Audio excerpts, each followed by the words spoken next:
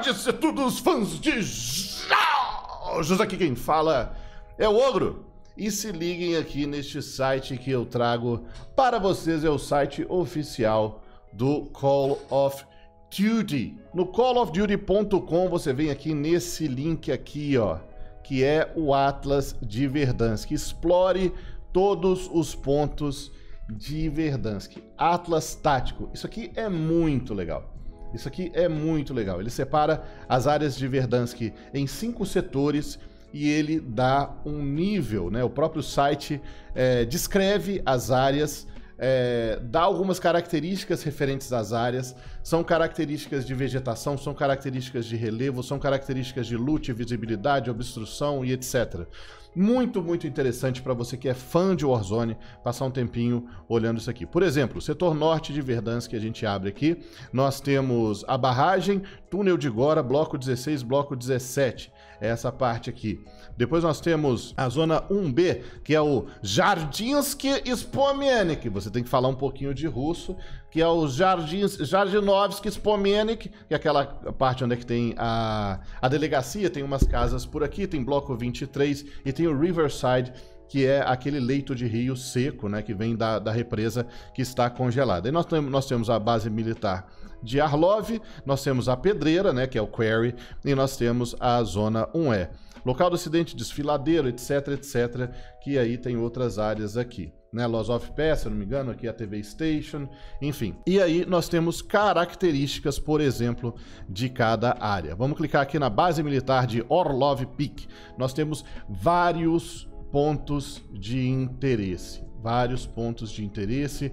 São pontos é, onde você tem nomenclatura aqui específica, são pontos onde você pode encontrar as vendinhas, as possíveis vendas, né, os spawns de venda, são pontos onde você pega aqui a zona de retração de dinheiro no modo saque, alguns pontos onde tem veículos, helicópteros, né, os veículos estão aqui, helicóptero, caminhão, pontos de interesse em geral, muito legal essas informações sobre o mapa. E aí você vê o tamanho da base militar é relativamente pequeno. Landmarks são pontos de referência por onde essa área é facilmente reconhecida. Seclusion, acessibilidade, complexibilidade, verticalidade, vista, interior, cover e loot. Você pode ver aqui, por exemplo, que a área da base militar não tem tanto loot assim caixas de loot, localidades, enfim, interessantes para você cair, como geralmente outras áreas têm.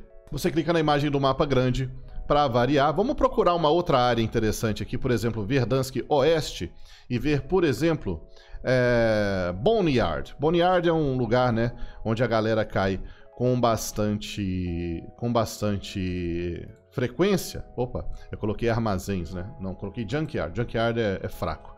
Mas vamos ver o ferro velho de Zokov. Aqui olha a quantidade de loot que tem no, no Boneyard. Então já é bom a gente tirar informações daí, né? A quantidade de verticalidade aqui. A verticalidade é relativamente média, o que é interessante para um começo de jogo. Verticalidade alta geralmente implica em bastante vantagem ou desvantagem de high ground, como acontece, por exemplo, em Downtown. Né? A gente pode trazer aqui, por exemplo, escritórios, oficina, tem os lugares, ó. Vamos lá, vamos para, por exemplo, ó, o ponto 60, ponto de vista avião azul e os hangares, que é aqui mais embaixo, escritórios de oficina que é aqui mais em cima, geralmente tem lojinha aqui em cima, 56 loja, turbinas, estoque avião, esconderijo de rebeldes e centro. Vamos escolher um aqui, ó. E aí a gente vê, por exemplo, nas áreas específicas do Boneyard, né, as características, onde tem mais loot, onde tem mais cover, onde tem mais pontos de referência, onde é maior. Isso aqui é muito legal. Dá para passar horas você se planejando, você vistoriando, dando uma olhada aqui. O site é muito bem feito e é por isso que eu vim fazer essa recomendação a todos vocês. Vamos, por exemplo, para centro e sul de Verdansk e aí a gente pega ali o estádio e downtown. Aí aqui nós temos, ó, Ponte de Graz na estação de TV. Eu falei que a TV Station estava aqui para cima, não está. A TV Station é o primeiro ponto aqui do, de cima de centro-sul de Verdansk. Nós temos o estádio. Vamos ver o que, que tem no estádio. O estádio é um lixo, né? O estádio não tem absolutamente nada, ó. Interior, zero.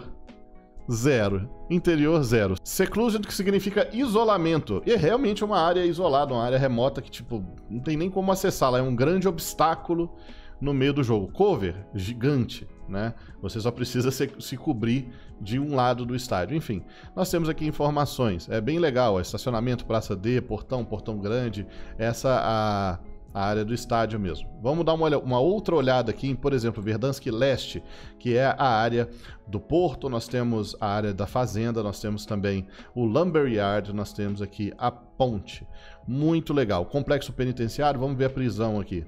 E aí a prisão tem também os seus locais, o interior, é, não tem muita coisa. 69 Classified, olha que curioso aqui. 69.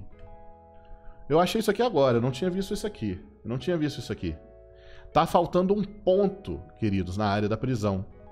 Olha só, nós temos 68, nós temos 70, nós não temos o ponto 70, 69, que está classified. Classified, e aqui você pode ver que está até um pouco bugado ao site deles. Ou seja, é algo restrito. É um arquivo que nós não podemos acessar ainda. Ou seja, tem coisa vindo tem coisa vindo pra prisão. Tem coisa vindo pra prisão. Talvez temporada 5, quem sabe. Vamos ver se tem outras áreas aqui que mostram alguma coisa classified ou se é só na prisão. Eu vou dar uma passada rápida aqui e se tiver alguma coisa do tipo, né, eu, eu informo a vocês. Mas a princípio foi a única, a única hora que eu, que, eu, que eu dei uma percebida em alguma coisa desse tipo, né? Curioso, curioso, olha só que legal. Então eu espero que vocês gostem da ferramenta, deem uma investigada aí por vocês também. Verdansk Oeste, olha só, o aeroporto, manutenção, Boneyard, etc. Sudeste, aí nós temos é, Train Station, Promenade, etc. Grasna Hills, Znosky Spomenik, Znosky Spomenik, para você treinar o seu russo também. Espero que vocês tenham gostado, deixe seu like, compartilhe, se inscreva no canal. Temos lives todos os dias em twitch.tv barra jogue como ogro. Se você for lá na twitch.tv barra jogue como ogro, deixar o seu follow, seu seguir agora, é humilde. Grande beijo do ogro. Até a próxima.